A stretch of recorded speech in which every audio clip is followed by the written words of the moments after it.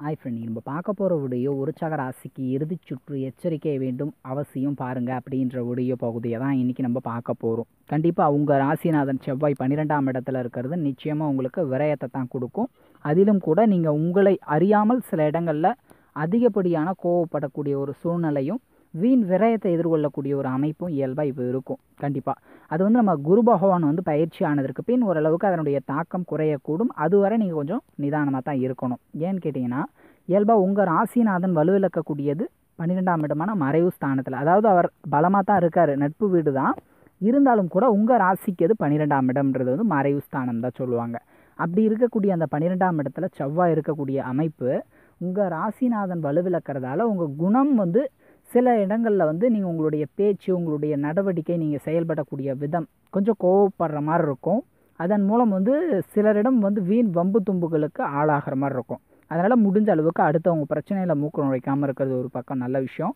அதே மாதிரி தனக்கே ஒரு பிரச்சனை வருது அப்படின்னா கூட கொஞ்சம் அனுசரித்து போகிறது நல்லது. கொஞ்சம் விட்டு கொடுத்து போகிறது ரொம்ப ரொம்ப நல்லது. எதிலும் வந்து முரடு பிடிச்சிக்கிட்டோ இல்லை பிடிவாதமோ செயல்படுறதோ இந்த காலகட்டம் வேண்டாம். அதுவும் ஒரு குறுகிய காலகட்டம் தான். அதன் பிறகு அதனுடைய தாக்கம் ஆட்டோமேட்டிக்காக குறையும். எப்படின்னு கேட்டிங்கன்னா குரு பகவான் வந்து பதிமூணு பதினொன்று இரண்டாயிரத்தி இருபத்தொன்று பயிர் பயிற்சி ஆகிறாரு. சரிங்களா? அதாவது மகர ராசியிலேருந்து கும்பராசிக்கு.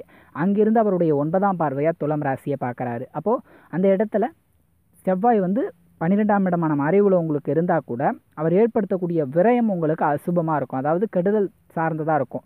அது உங்களுக்கு வீண் விரயத்தை கொடுக்கும். தேவையற்ற விரயமாக இருக்கும். அது நீங்கள் வேஸ்ட்டு தான். அது எதுக்கும் பிரயோஜனப்படாது. ஆனால் அங்கே குரு பார்வை இருக்கும்போது குரு பார்வை கோடி பாவம் நிவர்த்தின்னு சொல்லுவாங்க. அப்படி இருக்கிற பட்சத்தில் அது உங்களுக்கு ராசிக்கு பன்னிரெண்டாம் இடத்த குரு ஒன்பதாம் பார்வையாக பார்த்தா கூட அந்த இடத்துல அவர் விரயத்தையே கொடுத்தாலும் கூட அது சுப விரயமாக இருக்குங்க. அப்போ செவ்வாய் அந்த இடத்துல இருக்கிறதால நீங்கள் சில இடங்களில் கோவப்பட்டால் கூட அது உங்களுக்கு நல்ல விதமாக தான் முடியும். அப்போ அனுகூலமான பலன் அதன் பிறகு உண்டு. அப்போ இந்த குறுகிய காலகட்டம் சில இடங்களில் கோவப்படாமலும் முடிஞ்ச அளவுக்கு நிதானமாகவும் தெளிவாகவும் இருக்கிறது ரொம்ப ரொம்ப நல்லது. ஏன்னா இந்த டைமிங் உங்கள் ராசிநாதனே அந்த மறைவில் இருக்கக்கூடிய அமைப்பு உங்களுடைய செயலும் சரியான வெற்றியை கொடுக்காது. நீங்கள் நினச்ச மாதிரி அமையாது. அப்போ அந்த குருவின் பார்வை கிடைக்கும் போது அதனுடைய அமைப்பு அதனுடைய தாக்கத்தை குறைக்கும். அப்போ செவ்வாயுடைய தாக்கம் அந்த இடத்துல உங்களுக்கு கெடுபலன் தர மாதிரி இருக்காது. அப்போ குருவின் பார்வை இருக்கும்போது அது நெற்பலன் தரும். அப்போ வந்து விரயம் ஏற்பட்டாலும் கூட ஒரு இடம் வாங்குறீங்க இல்லை ஒரு பூமி சார்ந்த பிரச்சனைகளை நீங்கள் தீர்க்க போகிறீங்க அப்படின்னா கூட அதன் பிறகு அது உங்களுக்கு சுமூகமாக இருக்கும் குரு பயிற்சிக்கு பிறகு.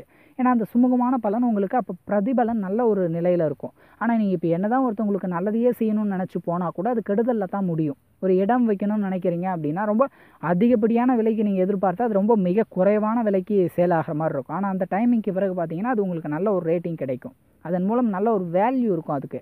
அந்த மாதிரி இடம் வாங்குறீங்க அப்படின்னா கூட கொஞ்சம் நிதானமாக இருக்கலாம். அவசரப்பட தேவையில்லை. ஏன்னா விலை குறைவான இடத்த ரொம்ப விலை கொடுத்து வாங்குற மாதிரியான ஒரு சூழ்நிலைகளுக்கான அந்த விரயம் ஏற்படுறதுக்கான வாய்ப்பு இருக்குது ஆனால் அங்கே குரு பார்வை இருக்கும்போது அதை நீங்கள் வாங்கினா கூட வந்து குறைந்த விலைக்கே நல்ல ஒரு தரமான இடத்த வாங்கலாம்.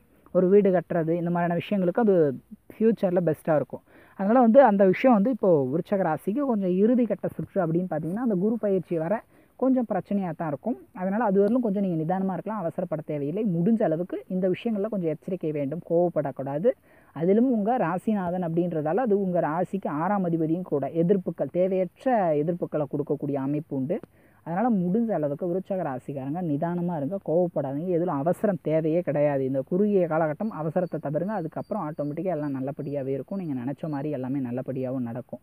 அற்புதமான நன்மைகள். அதன் பிறகு உற்சக ராசிக்கு கட்டாயம் கிடைக்கக்கூடும். இந்த வீடியோ பிடிச்சிருந்ததுன்னா உங்கள் ஃப்ரெண்ட்ஸுங்களுக்கு ஷேர் பண்ணுங்கள் கூடவே நம்ம யூடியூப் தமிழ் சேனலை சப்ஸ்கிரைப் பண்ணாதவங்க உடனடியாக சப்ஸ்கிரைப் பண்ணுங்கள் பக்கத்தில் இருக்க பெல் ஐக்கானை கிளிக் பண்ணுங்கள்